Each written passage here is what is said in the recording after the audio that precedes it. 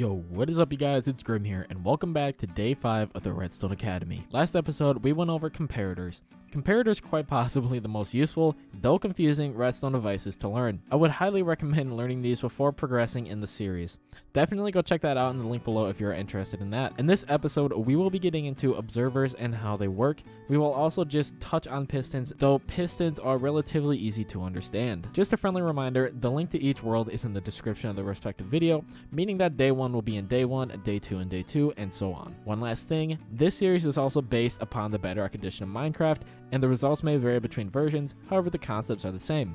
With all that being said, let's get right into it. Alright you guys, so as you can see in front of me, we have another new segment full of observers and pistons. So without further ado, let's just hop right into it. So starting off with the observers. Observer. An observer is a block that emits a redstone signal when an object is placed in front of the face side. It will always emit a one-tick pulse. Blocks, liquid, and any other updates that appear in front of its face will cause it to update. The observer also sends a pulse when moved by a piston. So right here, when you press a button, actually, let's go back to the beginning. All right, so I'm actually going to go ahead and modify this circuit a little bit. If you were to go like this, and if you press a button, the redstone lamp is going to stay on for this amount of time. Now, this is not the same for observers. See, the observers will detect block updates, meaning that when I press a button, it will send out a one-tick pulse. And then when the button actually comes off, it will send out another one-tick pulse. So you get something like this.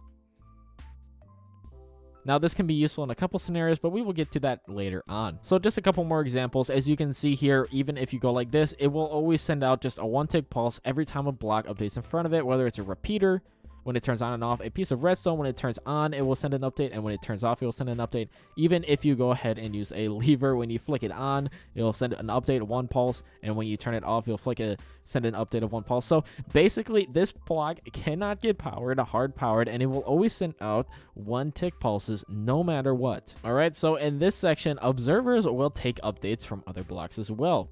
This is not limited to, however, just this little segment of blocks right here. It is definitely a lot bigger. You can actually go look those up yourselves. It's actually quite interesting as some of the blocks that observers can take an output from. However, right here we have a lectern. Now I'm going to stand at an angle to where when I open the book, you can see uh, right here and you can also see the lamp. And you'll see when I turn the page, it'll send an output. And when I go back, it'll send an output. So basically, it's reading that you are interacting with this, and what that's it's basically observing. You could say that it is observing. So when you flick a page, it's gonna update and observe that you updated the block in front of it, meaning that it's going to send off a one tick pulse. The same thing can be said with a piston. When you actually press a piston upwards, sideways, anywhere in front of the observer, it will actually go and send off a one tick pulse when it extends and retracts. Same thing with liquids, water, lava, anything. If it appears in front, it will go ahead and send off a one tick pulse. And when it disappears, it'll send off a one tick pulse. And then one last thing that you can do with these that it's actually really cool is actually face them all into each other. So as you can see right here,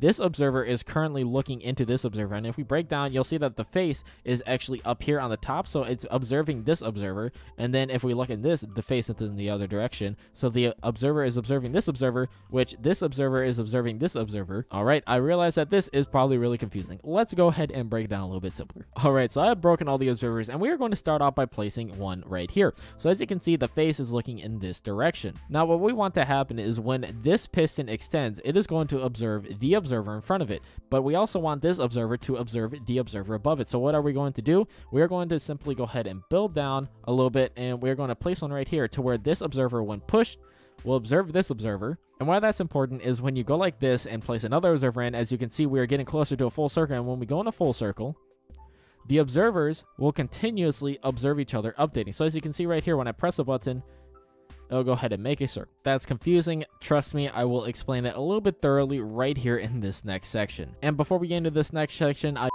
now, before we actually get into this next section, I know I'm staying a lot on this, but the sooner that you understand how this redstone contraption specifically works, the better off you will be on observers. All right, next up, can they can be moved by pistons. So as you can see right here, they can be used to make a one tick pulse. If you just extend it, it will go ahead and send off a one tick pulse. And when it comes back, if there's not a powered block right here, it will not power this again, meaning that you just get one tick and no others. You can also make a clock. So if you go like this, uh, this is why it's a little bit simpler in this one. Two observer faces facing into each other will constantly observe each other, meaning that they will continuously send off an output, uh, making a clock that you can make uh, beautiful fireworks with, I guess. So a little bit more specific here. Observer, this this observer will observe this observer. All right.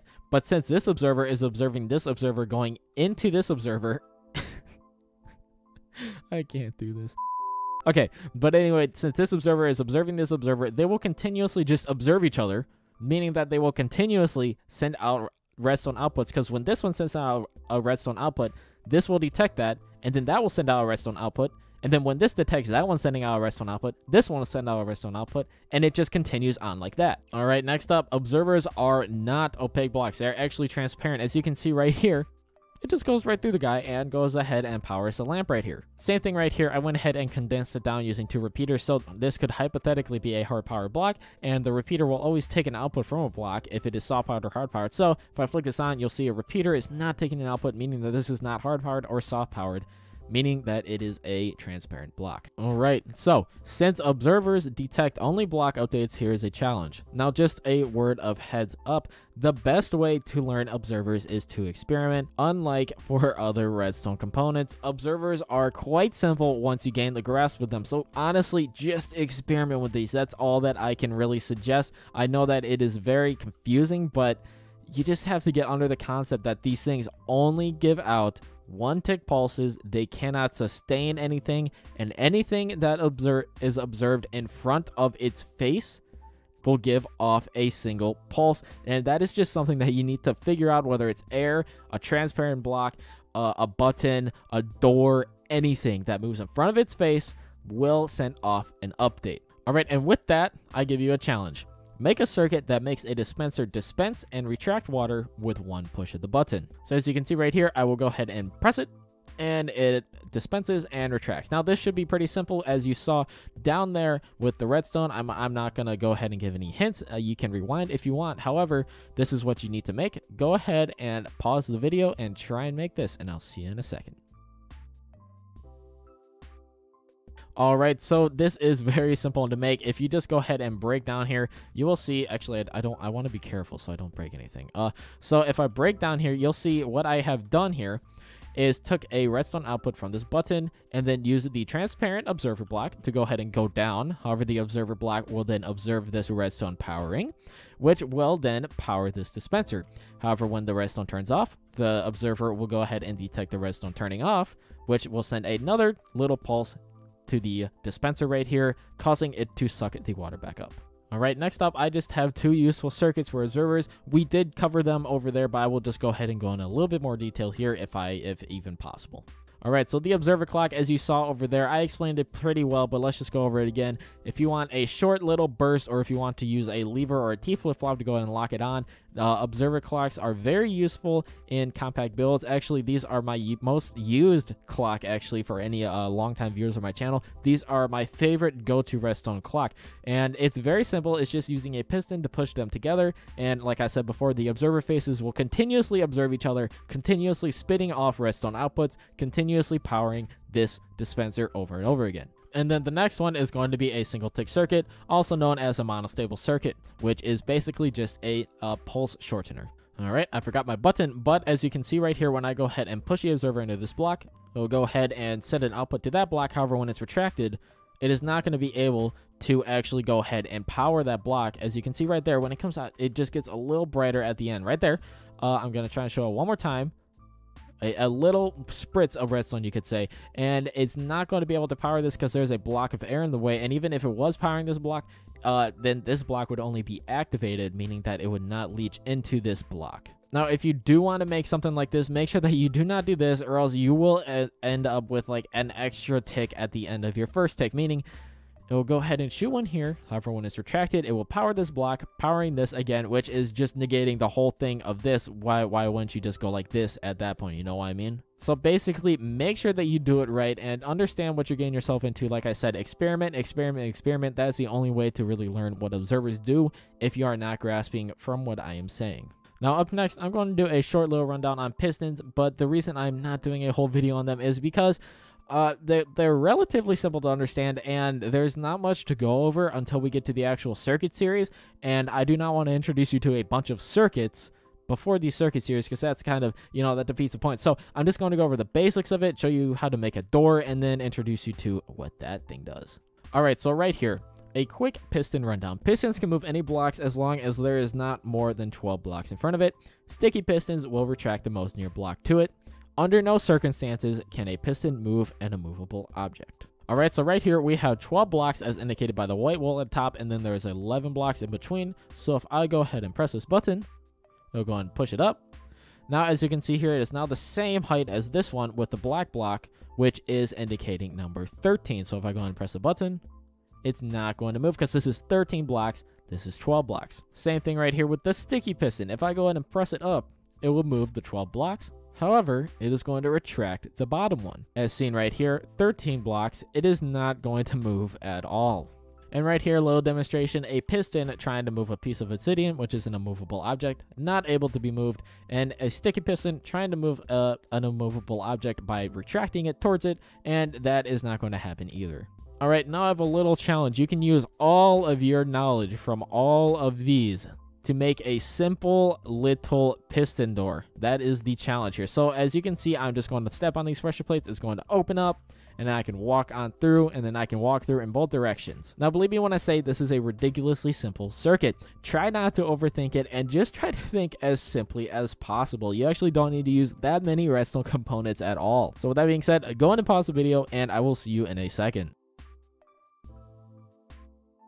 All right, so let's go ahead and bust down into this piston door. As you can see, it opened up, but let's go ahead and get rid of these blocks so I can step off the pressure plates, break these, and break down. And as you can see here, it is just as simple as this. it is mirrored on both sides, so what it is is a redstone line coming up, powering this torch, which is then going to power both pistons because of the powered block on top of it, and that is going to be deactivated when you actually go ahead and give it some kind of power. As you can see right here, is going to deactivate it and pull them in. If you step off, it is going to repower it and push them out. If you would like to get a closer look at this, as always, the link to the world is in the description below. All right, and this is just a little book, a tip right here. It is crucial to understand the basic piston mechanics. They are used in a wide variety of large circuits, which, like I said before, just is a basic general rundown of why I'm not using it, or else I would literally put every single circuit possible in, in this video. So right here, we have one last thing.